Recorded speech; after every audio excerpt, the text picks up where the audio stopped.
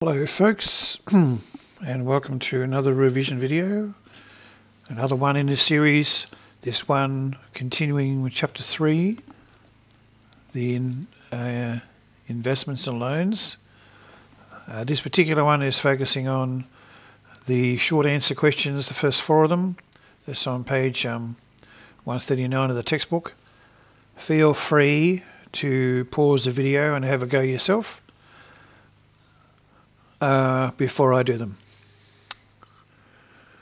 Okay, so these uh, four uh, relate to the future value formula, which is the same as the um, compound interest formula. FV is short for future value and PV present value. And then there's the present value formula, which is just this one rearranged. Um, present value is basically what it says in this question down here. The sum of money that someone would need to invest now to get to the total by the end of the time period. That's present value, and the future value is the end amount after the investment is finished. So question one is uh, future value. So we're focusing on this formula. Let's have a look. So the present value is 920. So all we do is just putting values in here that it tells us here. So future value is uh, present value 920 bracket 1 plus the rate. Come, yep, 5%. And it's very important to pay attention um, at the time period the interest is compounded because that influences the formula. And time period is four years, so to the power of four.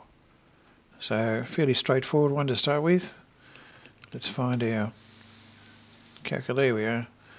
So 920 bracket times 1 plus the rate, 5% close a bracket to the power of 4. After four years we have an investment worth future value of 1,000 um, okay it's gone. I think it was 1118 yep dollars 27 to the nearest cent. So it says there to the nearest cent, $1.27. Okay, next one. Same thing, sub in. So future value, this one, the present value is 2100. 1 plus 3 years, 6.1% per annum compounded monthly. Okay, so we're going to do a adjustment. 6.1% compounded monthly which means it's 1 12th of the yearly one. So we make it a fraction over 12. So that will be the monthly compound interest rate when you do that, which is what we want because it's compounded monthly, and that's the yearly percent. So yearly divided by 12 is the monthly one, and three years, so we're going to turn that into months as well. So three years monthly is 36 months.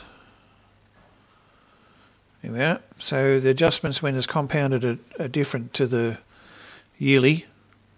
You would adjust it twice. Once to divide it so you get the right rate, and then the number of years is multiplied by 12.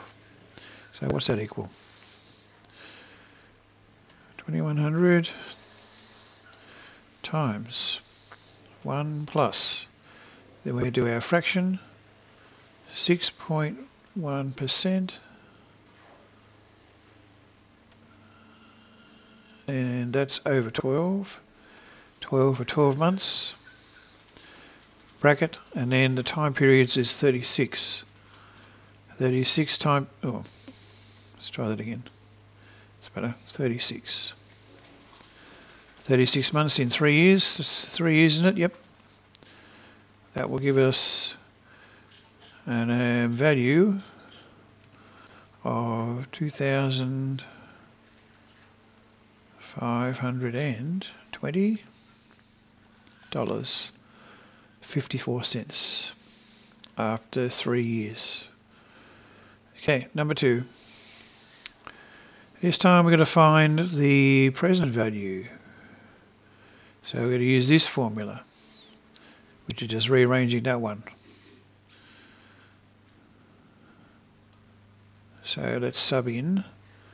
Future value is, that's the amount that we end up with. So we're going to find out how much we need to invest now to get to 26,000 in three years. On the bottom is the 1 plus the rate. What's the rate? 4.9% per annum years, that's all good. 4.9%. Just going to bring that along to the power of 3. Three time periods, three years. Okay, on a calculator, 26,000 over 1 plus 4.9%, close the bracket to the power of 3. 22,524 and 7 cents. So if we want to get to 26,000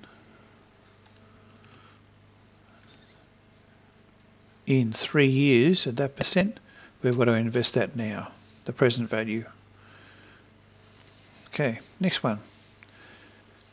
Finding the present value still, so the future value is 10,000. So we want to get to 10,400 in next certain amount of time. How many? Five years. Compounded quarterly for five years. Okay, compounded, that's yearly, so we're going to do some adjustments. 1 plus the 9%. And because 9% is yearly, and this is compounded quarterly, which is four times a year, we're going to divide that by 4. And compounded quarterly in five years, four times a year times five is 20 time periods. 20 quarters in five years. Okay. So, future value, what we want to get to, 1 plus, then another fraction, 9%, compounded quarterly, so over 4, 4 quarters in a year, and for 5 years at 4 quarters in a year, that's 20 time periods. Six thousand six hundred and sixty-four dollars forty-nine.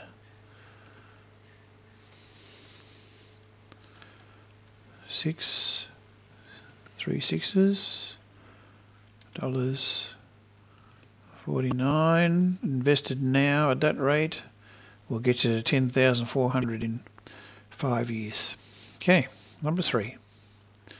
Let's move down a little bit. Again, this is a present value, the way the question is worded. Present value question. So we're still on this formula. We want to get to 200,000 in 10 years. What do we need to invest now?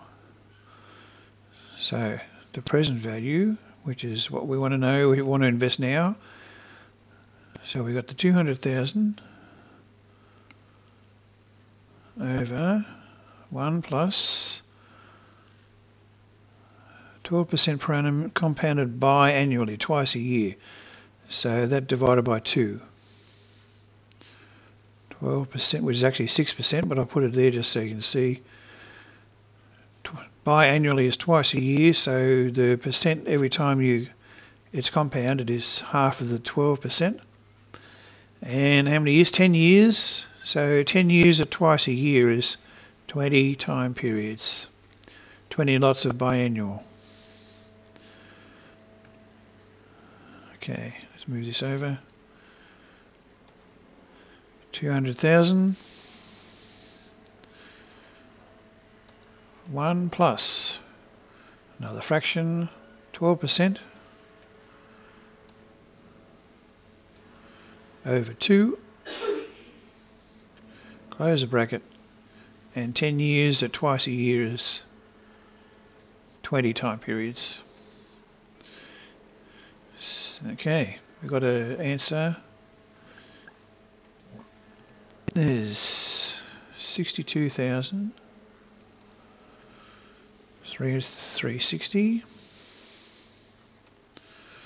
and 95 cents. That's the amount we need to invest now at that rate. In 10 years, you want to get to 200,000. Okay, number four. Investment is appreciating at a rate of 4% of its value each year.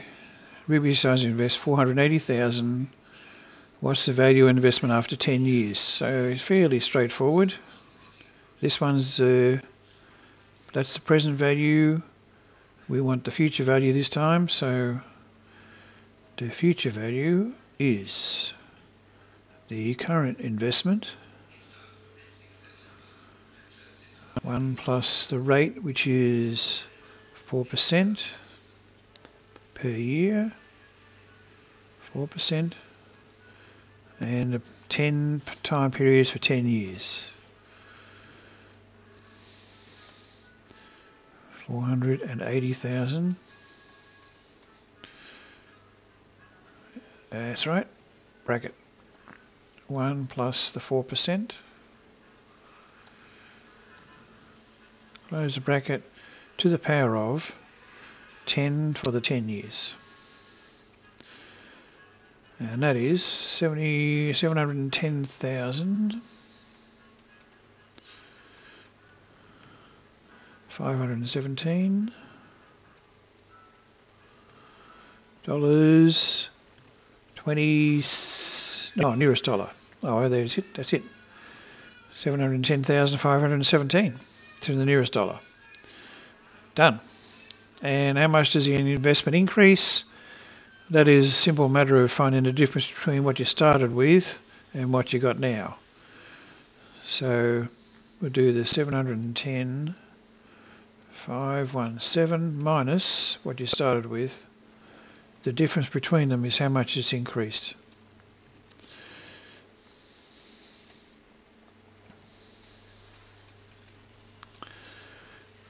Two hundred thirty-seven, two hundred thirty thousand five hundred seventeen to the nearest dollar. Two three zero five one seven. That's the increase over the ten years from where you started to what it is now. Thanks everyone.